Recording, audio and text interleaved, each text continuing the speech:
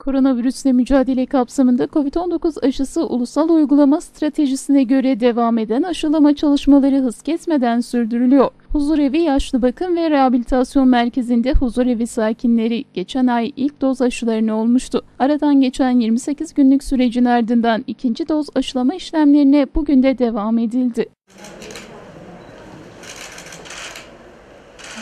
Huzurevleri Yaşlı Bakım ve Rehabilitasyon Merkezlerindeki ikinci doz aşılama hakkında bilgi veren Engelli ve Yaşlı Hizmetleri Genel Müdürü uzman doktor Orhan Koç, ülkemizde ilk aşılama yapılan ülkelerden birisi. Aşı programının tamamen ücretsiz ve bütün vatandaşlara ücretsiz veriliyor olması da ülkemizin diğer ülkelere göre öne çıkaran özelliklerden birisi dedi. Tüm dünyada aşılama başladığını biliyoruz ve ülkemizde ilk aşılama yapılan ülkelerden birisi.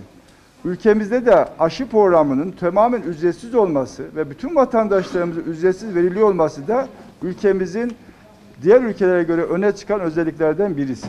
Koç, birinci aşamada 87 bin gerek yaşlımız, engellimiz ve hizmet veren personellerimiz aşılandı. Bugünse ikinci doz aşımız yapılıyor. Yine bütün huzur evlerinde kalan yaşlılarımız, engelli bakım merkezlerinde kalan engellilerimiz ve onlara hizmet veren personellerimizin tümü aşılanacak dedi. İlk doz aşılarımız yapıldı. İlk doz aşılarımız bütün kamu kurumlarında, özel sektörde ve belediyelerde yaşayan, huzurevde yaşayan yaşlılarımızı yine engelli bakım merkezlerimizdeki engellerimizi kapsadı.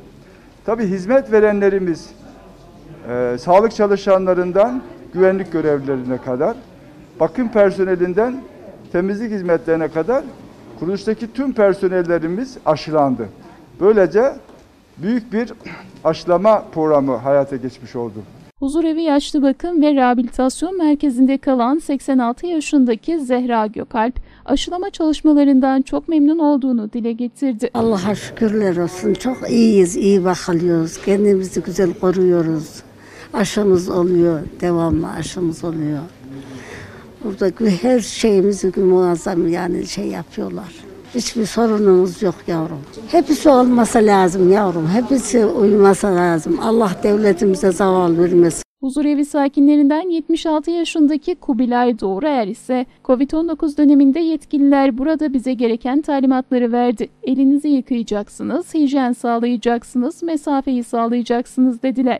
Biz de televizyonlarda izledik. Bu dediklerine uyduk. Benim duyduğum kadarıyla burada hiçbir kayıp olmadı dedi. Covid döneminde yetkililer burada bize gereken şeyi verdiler, talimatları. Elinizi yıkayacaksınız, hijyen sağlayacaksınız, ondan sonra mesafeyi sağlayacaksınız dediler. Biz de televizyonlarda izledik. Aynen bu dediklerine uyduk. Benim duyduğum kadarıyla burada hiçbir kayıp olmadı. Sağlıklı bir şekilde yürüttük.